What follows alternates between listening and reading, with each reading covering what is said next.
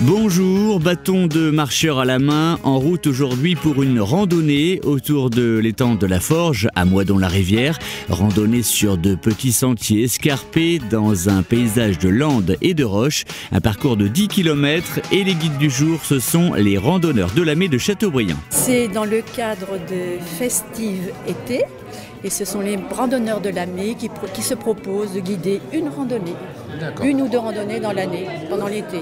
La particularité de celle-ci, euh, elle est plus pentue que les autres, je sais pas. Elle est... Ah, les gens le disent, hein, les gens qui ne sont pas habitués, euh, qui ne connaissent pas, disent qu'elle est, un peu, elle est un peu ardue, mais en fait, bon, ils l'ont fait euh, très facilement. Même la doyenne, 82 ans, l'a fait allègrement.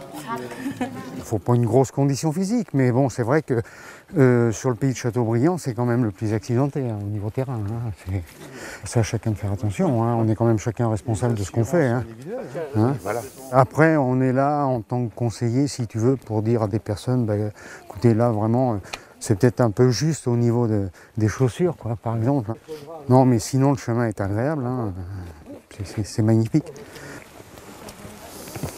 C'est la commune qui entretient tout ça La Comcom, oui. Elle entretient le chemin. Quand on passe en début de saison là, et qu'on trouve des, des arbres tombés, tout ça, on le signale à la commune. Et puis euh, la commune transmet à la, à la Comcom. Et c'est une association de, de chômeurs dans le cadre de la réinsertion. L'ensemble, du parcours, il plaît, il plaît à tout le monde. Tu as des gens qui ne le font pas complètement, parce que 10 km pour certains, ça fait un peu trop. Mais euh, dans l'ensemble, ceux qui le font en entier euh, adorent les deux parties. Ce qui est intéressant aussi, c'est de le faire au mois de mai. Parce que ça... Fin mai, tu as, toute la nature qui s'ouvre et euh, toutes les feuilles ne sont pas encore sorties. Alors tu as un visuel beaucoup plus, beaucoup plus vaste que là.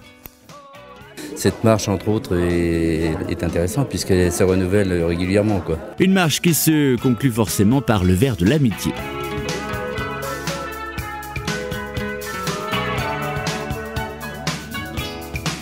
but it's impossible.